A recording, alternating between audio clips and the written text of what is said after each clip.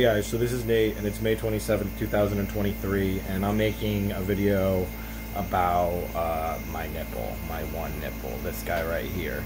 So I previously made a video but I think I talked too much or something. So I this video is going to be really really short because I'm going to try something different. I'm going to try to be direct. So um, I made one video about my top surgery and then I made one video about my nipples, which I actually removed that video because I'm going to remake that video and I'm going to do it better.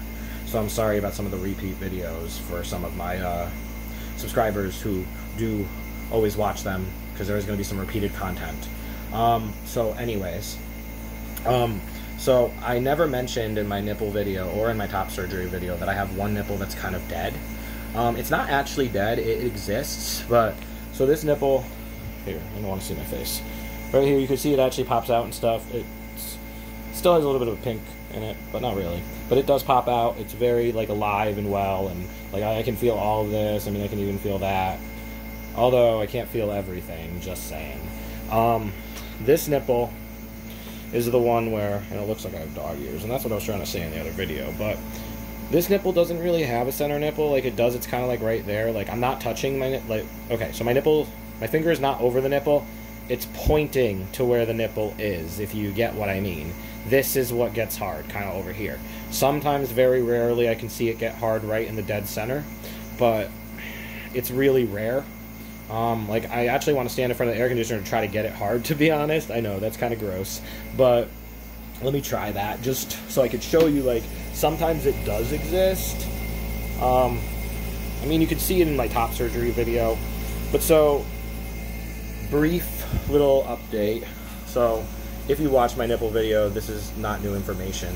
So, you you know, feel free to click away if you've already heard this. Um, but so I went to uh, get my nipples tattooed after top surgery because of the discoloration. Um, and the ink all fell out. And I did this twice. I did this at uh, six month post op and eight months post op. Both times the ink fell out. But at six month post op, this nipple. So this nipple was always popped out, okay?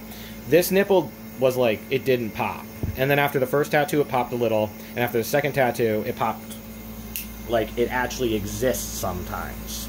So yeah.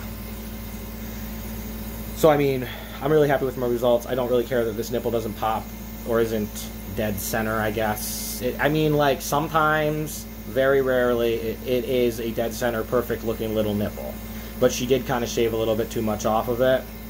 Um, so yeah, that's that's it. Um, I just feel like you guys should know that like even though my top surgery went really fantastically well, not everything was perfect, and uh, but nonetheless, I'm still really happy with my results, and I'm just really glad to have nipples, despite how uh, useless they are anatomically.